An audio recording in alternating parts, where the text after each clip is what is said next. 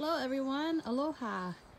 So here we have it, my finished product, the vertical grow tower. Oh, I probably shouldn't say grow tower. Uh, vertical vegetable garden that I have here. Uh, I finally planted some seedlings, well not seedlings, small plants that I got from the nursery. And this is what I have, the top layer here has all tomato seedlings. These are seedlings that I grew from seed myself and I don't know how fare but uh, we'll see what it could do later on in the next few weeks. And here I have sugar sprint uh, beans uh, chard and then down here I have spinach. And they are all around the grow tower here. Right there on top, I have uh, cilantro, chamomile, chives, stevia, a marigold, and I know I have another one somewhere here. Okay, these are chard, chard, uh, oh, here you go. Ghost peppers, my favorite. But unfortunately, some animal came around and took a chomp out of the topmost part of the plant. So, uh, these are definitely older plants that I had shoved in there. So although this vertical grow tower took me a while to get to, um, together, I think the hardest part for me was getting the legs on. Uh, I had a couple of fails with the legs and I had to rethink the design. And so this is what works so far. And it may look unstable to some of you um, construction people out there. Uh, but what I have here is a bolt and on the inside there is a washer to hold the, um, the, the bolt in. Okay, so that it doesn't slip through the plastic uh, container um, under stress. Uh, another thing I found out uh, after planting these plants, I noticed that some of these slots were getting, uh, they're starting to close. And I think what happens when the sun comes through and heats up the barrel, the plastic may have like a memory and start to go back to its original form a little bit. Um, I have no problems with these, but as you can see, uh, this one here, I had a prop with a rock to gap it because I was afraid it was like practically like a half inch closed on the plant. And I didn't want to strangle the plant of course. And so the ones that I was concerned with the plastic slats closing I, I shoved rocks in there and they seem to be working. Except this one is a little loose. I gotta push that I gotta push this one in there we go I'll just do that for now uh, looks like it's maintaining its form finally, but uh, yeah, that was the only complication I had because uh, in the videos, other videos, I see people making these uh, vertical towers. However, I don't recall seeing them with plants in it. They just showed what they were able to do with the product um, with the grow tower, uh, but I've never seen anything planted in it um, also. So, so that was a concern.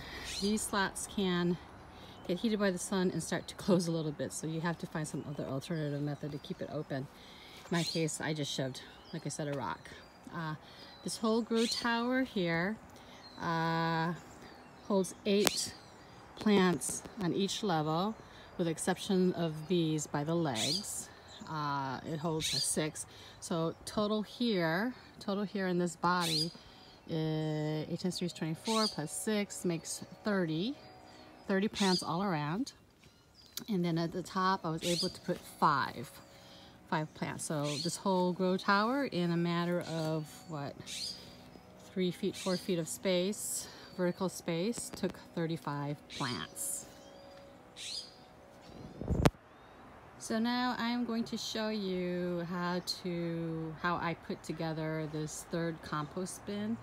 I had other videos where I showed how to make this compost bin right here with a drainage pipe and that is in a um, just a typical garden but this one here there is also a compost bin in my vertical grow tower.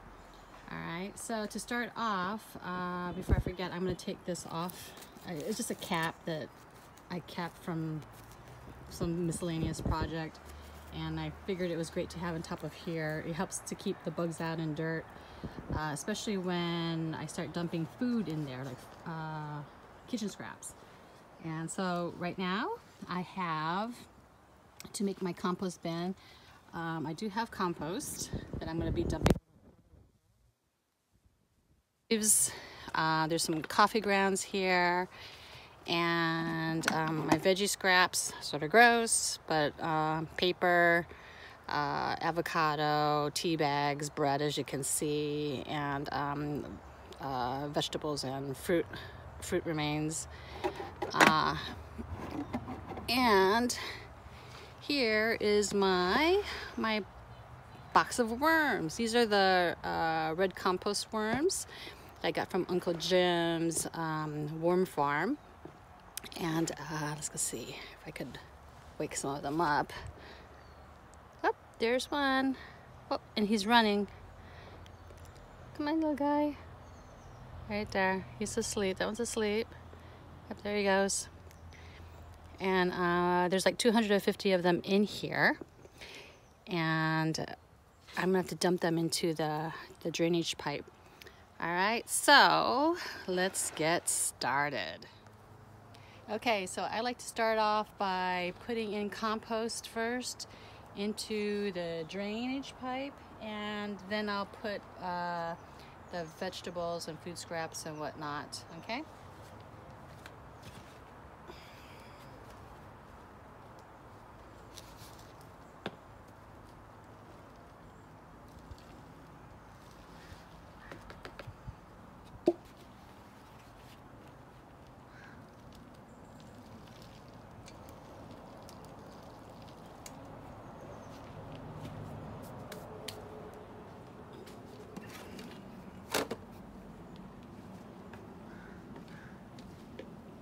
I'm just using a kitchen tool here just to get all this um, spooned out of the container here, make it easier to put inside the drain.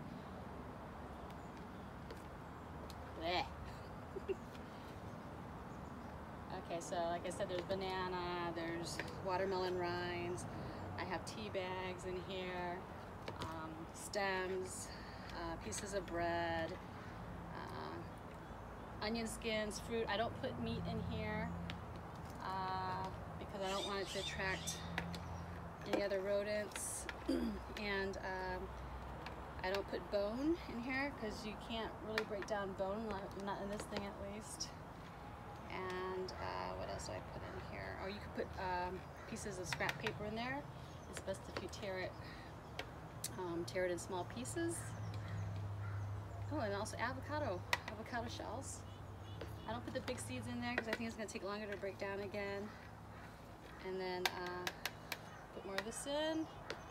Uh, old grapes. Uh, and even the juice. I'll put the juice in too. Do that. Yeah. Okay.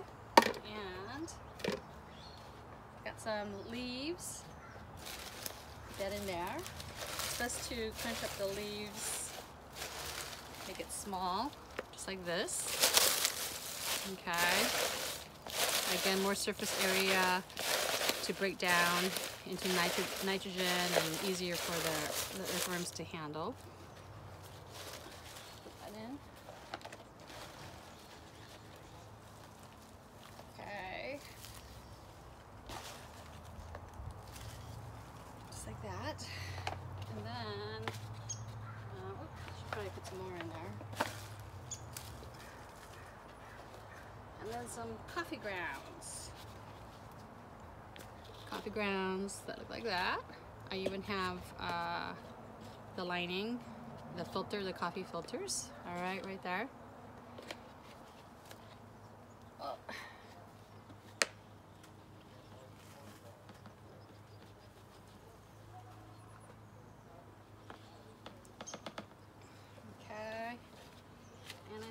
dump more uh, compost in there. Ooh.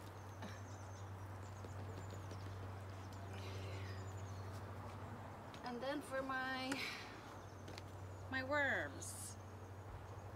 Okay, I should probably get some gloves on. Or, let's go see. Just shake it up like this.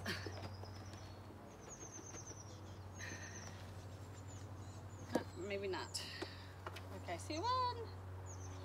There's one. Ooh, he's a little, a little feisty. This, I'm gonna pick this one up, and he's probably gonna like do the, do the twist and shout. See that? There you go. That's Wormy. Here's another one. Oh, here's another one. Oh, okay. He he he is alive. All right, let's go put them in. Hmm. Maybe I'll do, maybe I'll do it by the handfuls here. Hey guys, in your hole. Ugh. All right.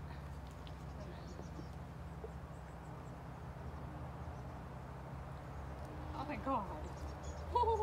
Oh, that again. I don't know why they like to ball up like this. Can you see? And of course the birds are checking me out. They want the worms, but uh, they do like to ball up. Here's another group of them. But then again, you know, they're known for making earthworm eggs like within like every day or two. So who knows what they're doing, right? So, right? Okay, I better stop. Stop playing with the with the dirt before I lose all my worms. Hey guys, you gotta do your job. Put you in. There we go. Put you in. Have fun in the hole. And try not to hurt them. Come little guy.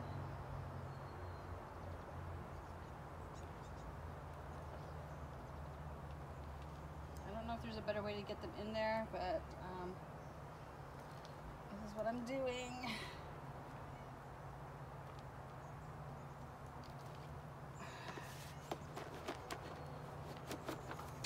All right.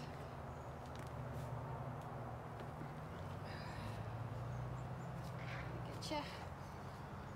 Ah, I think another ball of worms here. Woo, okay, okay. I'm gonna just keep dumping all these in because I just don't know. They're so similar in color with the dirt that I don't know if they're worms or not, but I'm gonna have to dump all of them in here to make sure I got every single one of them in there. And okay, here we go. Put it in this way. All right, all right, almost in there. And I guess even if they fall out of the tube onto the soil um, below, under the tube, that's fine.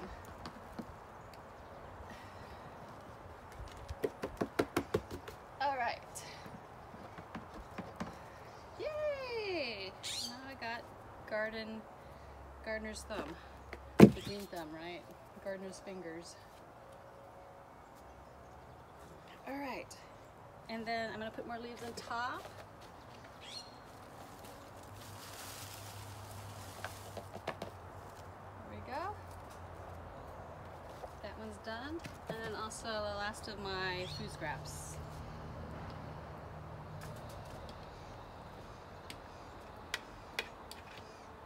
Ugh.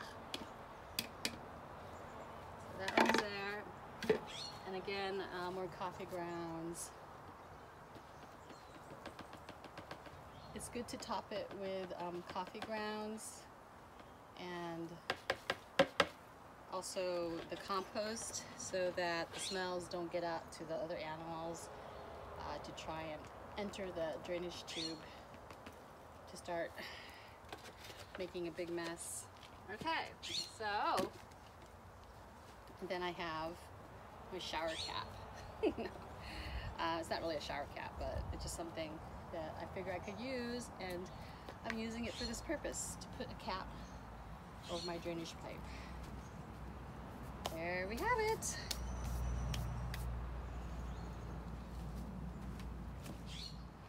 All right, so I completed uh, filling this drainage pipe with compost, coffee grounds, leaves, worms, kitchen scraps, and um, did it again as an extra layer uh, just to keep uh, the animals out from trying to get to the worms or any of the vegetable scraps. So I, I topped the vegetable scraps with coffee grounds and leaves and more compost so the smell doesn't get out, and then put a cap over it. So so I'd like to say thank you for watching my video. If you enjoyed it, please do me a favor and subscribe to my channel.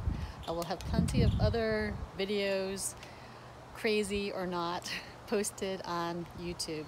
So have a great day and please a thumbs up. Ciao.